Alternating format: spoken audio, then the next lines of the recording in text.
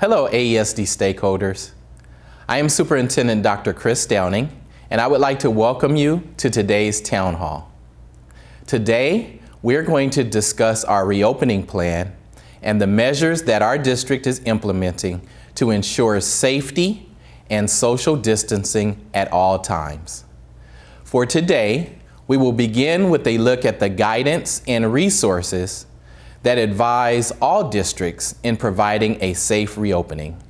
These resources include Governor Newsom, the California Department of Education, the California Department of Public Health, the Orange County Department of Education, the Centers for Disease Control and Prevention, the OC Healthcare Agency, the Occupational Safety and Health Administration, the California State COVID-19 website, and the Environmental Protection Agency.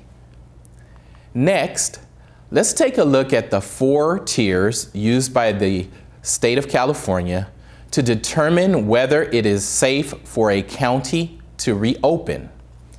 These tiers are purple, red, orange, and yellow. Currently, Orange County falls within the red band, meaning it is safe to reopen schools. And as of September 22nd, districts across Orange County reviewed their data and made the determination if the conditions were safe within their communities.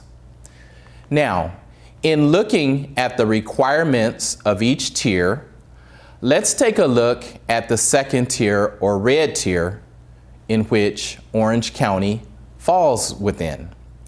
As you can see, in order to be in this second tier, there must be between four to seven new cases of COVID-19 per day per 100,000 citizens. If there are more than seven, again, a county would be determined to be within the purple tier. This is the data for Anaheim and our five zip codes. We would like everyone to pay close attention to the 8.854 daily new cases, which, of course, is above seven. Now compare the data in Anaheim to Orange County as a whole. And as you can see on the left, Orange County is currently at 4.6 daily new cases. So, Anaheim, 8.854, Orange County, 4.6. This is why you have heard our district continue to say the data in Anaheim is much higher than Orange County as a whole. Next, let's take a look at the individual zip codes of Orange County. You will see a story in which some of our zip codes are as high as 10.3 daily new cases. Again, very much above the seven or less daily new cases needed to fall within the red tier. So everyone, actually, based on the data in Anaheim, we fall within the first or purple tier. So our district, to determine a safe timeline to return to in-person instruction, worked with our stakeholders to review this data and more, and to make recommendations. Joining us now to talk about this process is Dina Mellon, Assistant Superintendent of Human Resources. Dina, please take it away. Thank you, Dr. Downing. To begin preparing a reopening plan, it was important to make sure all stakeholders would be able to voice their opinions, provide input, and ask questions. The School Reopening Advisory Committee includes district employees, parents, and community members. The School Reopening Advisory Committee's goal was to determine the best options for the district to reopen and in turn make a recommendation to the school board for consideration. The committee was provided with input and feedback, resources and presentations, and possible reopening options. Since last May, the School Reopening Advisory Committee has met five different times. Additional meetings will be scheduled as needed on an ongoing basis. The committee is made up of approximately 130 members. All associations worked with the district to identify members from each school site for the committee. Likewise, all district and site parent groups are represented. Community members and district partners are also a big part of this group. Multiple opportunities to gather input and feedback from stakeholders has taken place. Surveys were sent to all district parents and all district employees. Meetings with the district LCAP, DAC DELAC, and PTA committees, as well as meetings with the district associations, AEA, CSEA, and ASMA, have also occurred. Next up is Tracy Golden, Senior Director of School Safety and Operations. Thank you, Dina. We have several safety measures in place now that will continue when students come back to school for in-person learning. Everyone at our schools over the age of two will be required to wear face coverings. Every employee and student will be given five cloth masks with the opportunity to get more as needed. Disposable masks will also be available for anyone who needs one. Our maintenance routine includes disinfecting nightly using electrostatic sprayers and frequent disinfection of high-touch areas throughout the day. Hand sanitizer is available at every door throughout the school. Some situations require extra personal protective equipment that the district will provide as needed. The California Department of Public Health recommends we form cohorts when we return. A cohort is a stable group of no more than 16 people who stay together for all activities. We do this so we can minimize the number of people exposed if there is someone who tests positive for COVID-19. Once we return, there may be a need to quarantine or possibly close a school.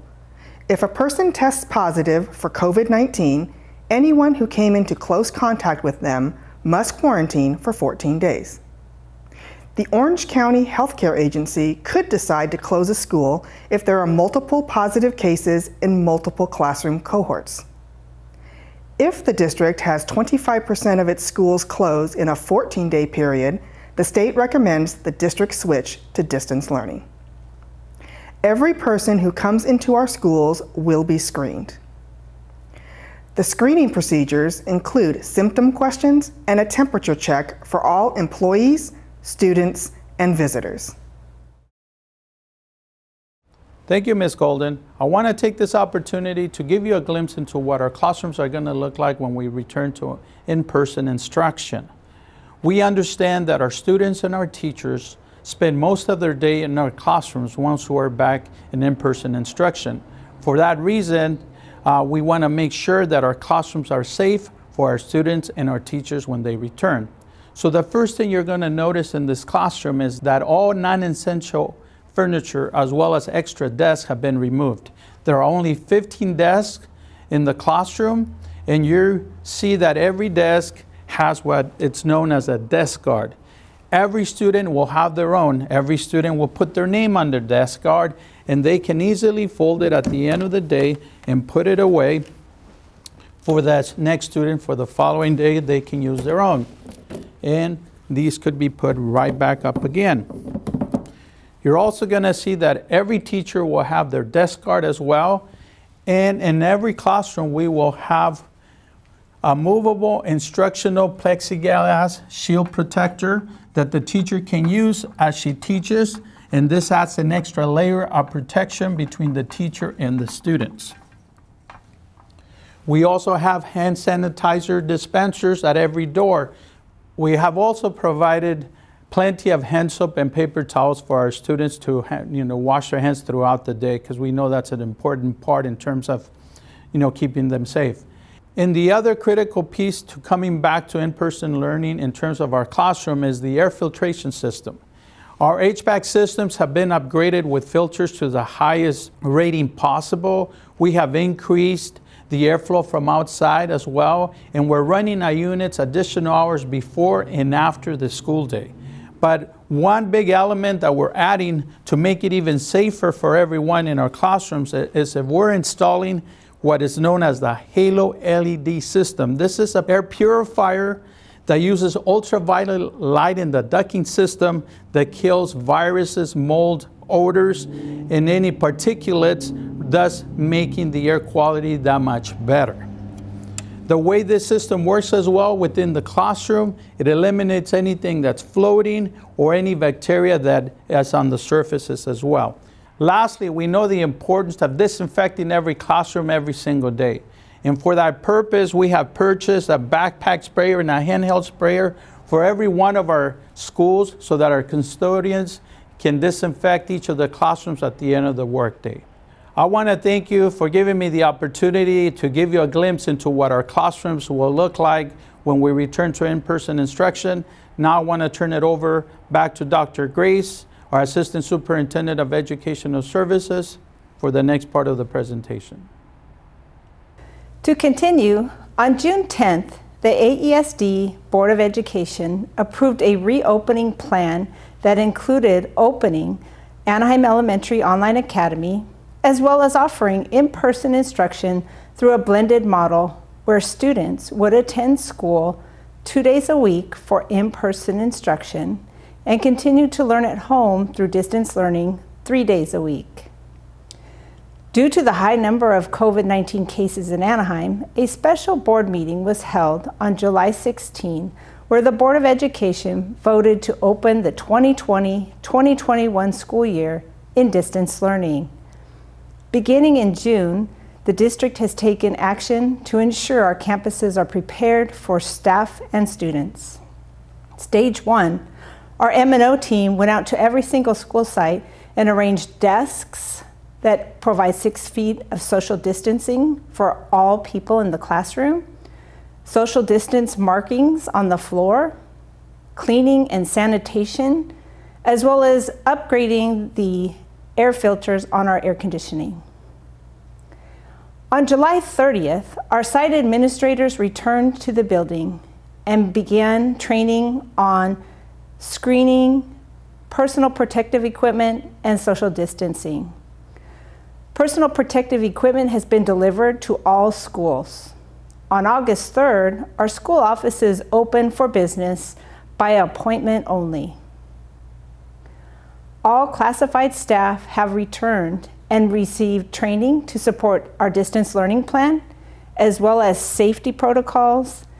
Our campus supervisors have returned and have been assisting with the YMCA childcare, grab and go meals, and safety training.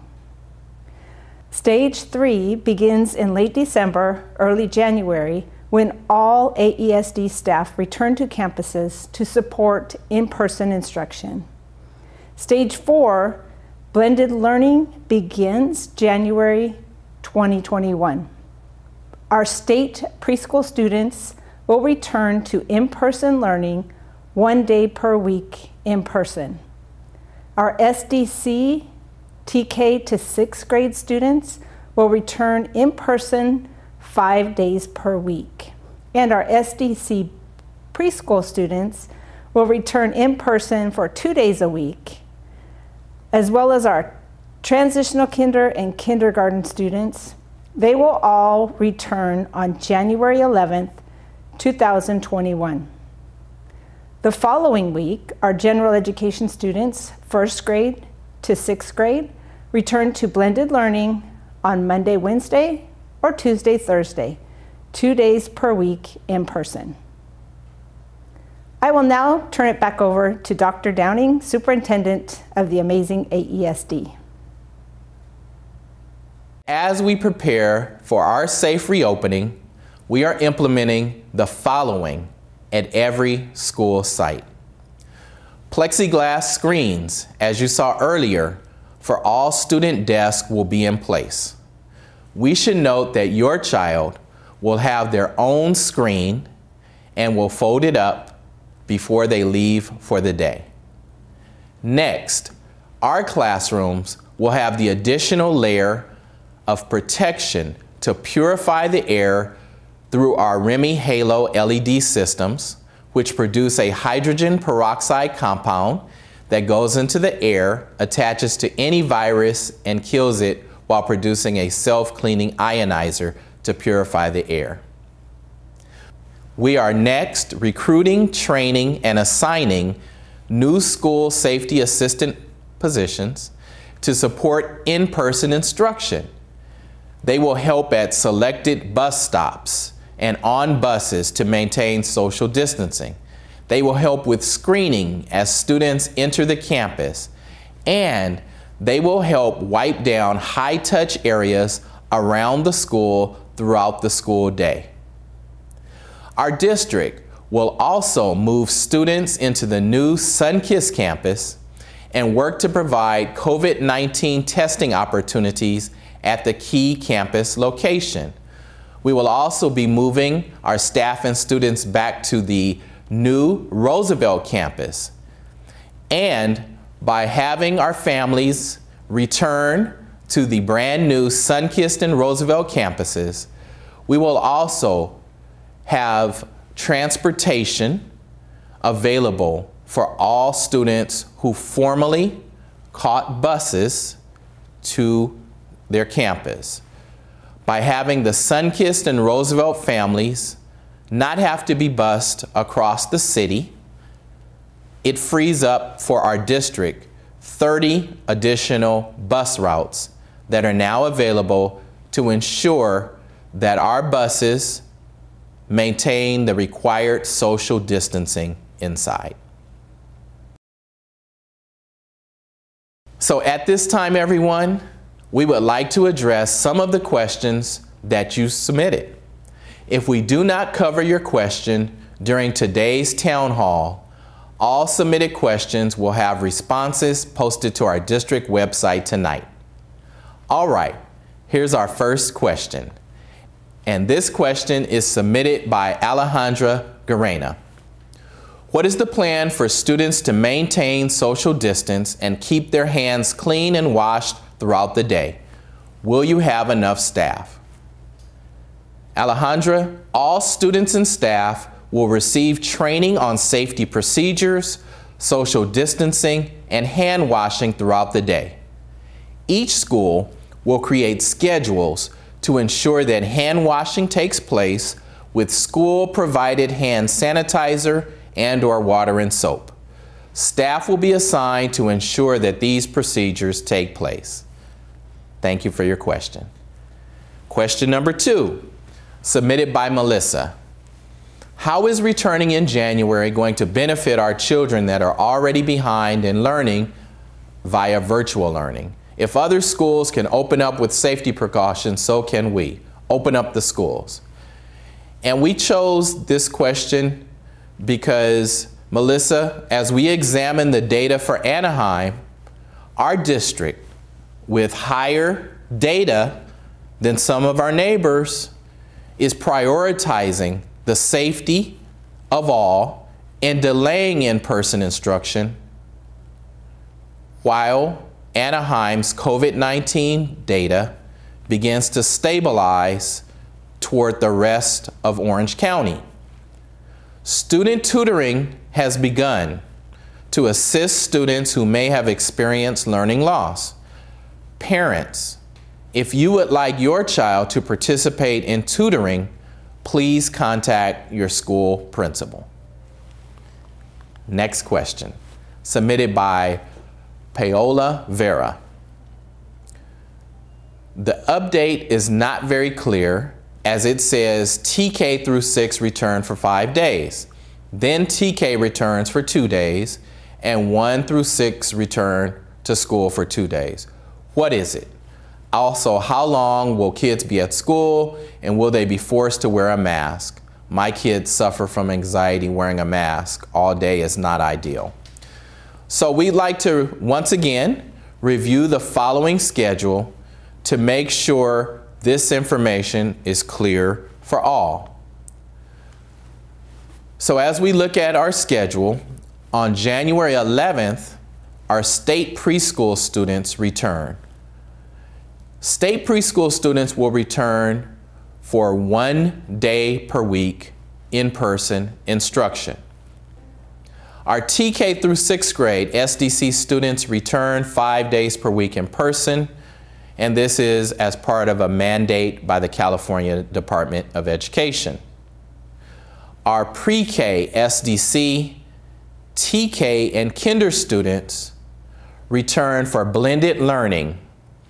And our blended learning schedule will consist of a student attending school either Monday and Wednesday or Tuesday and Thursday. And your child's school in the next couple of weeks will be sending you information on whether your child will attend Monday, Wednesday, or Tuesday, Thursday. On January 19th, our first through sixth grade students return for blended learning, two days per week in person. And again, schools will be sending you information on whether your child will attend on Monday, Wednesday, or Tuesday, Thursday. Next, question number four, submitted by Marcella. My question is if the district could provide the schools with masks and face shields to the students for greater safety and can prevent them from touching their eyes and nose. Thank you. Yes, Marcella. Every student and staff member will receive district provided cloth face coverings and disposable face coverings will be available on campus for any stakeholder who needs one. We are also having hand sanitizing stations and resources throughout our campuses. Question number five. I'm not comfortable sending my daughter to school until this virus is clear. Can she still do the distance learning? The answer is yes. We have reopened the enrollment window for the Anaheim Elementary Online Academy. And for more information, please visit our website at www.aesd.org for more information. Next question, submitted by Audra Jung. Can my child stay in distance learning in January without switching to the online academy?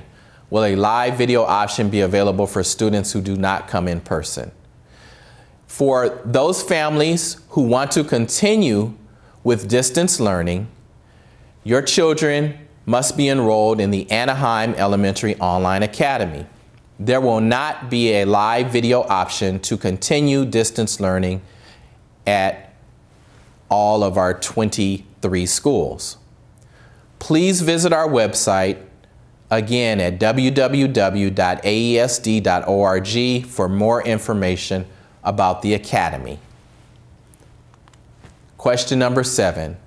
How is this date even an option if in that time frame kids get sick the most? Is the class going to be split in half on those two days? How will that work? Well, the return dates are based on continuing guidance and review of data by our district. The January dates are intended to ensure all safety procedures outlined today are in place for every student and staff member. And as we covered earlier in tonight's town hall, we will follow guidance and limit the number of persons in a classroom at any time to no more than 16. And that includes students and staff. Next question submitted by Lizette Jones. What are the two days the students will be attending school? Also, what are the times? Thank you. So our schools are scheduling families on either Monday and Wednesday or Tuesday and Thursday for in-person instruction. Your child's school will be providing your schedule in the next few weeks.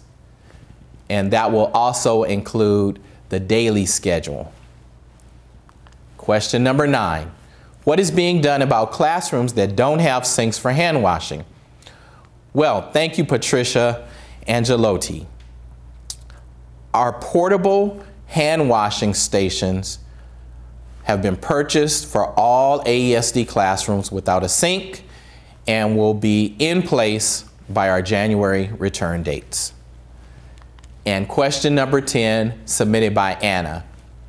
With many students not having that in-person experience that helps with cognitive development, how will our students be tested in order to conform to the guidelines of the state?